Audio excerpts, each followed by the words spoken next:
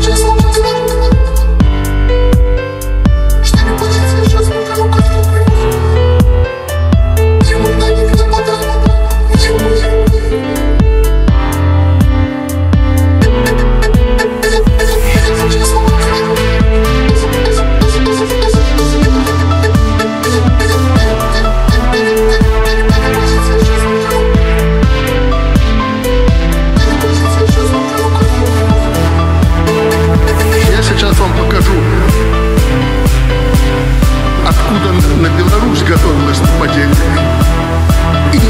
Москвы за 6 часов до операции.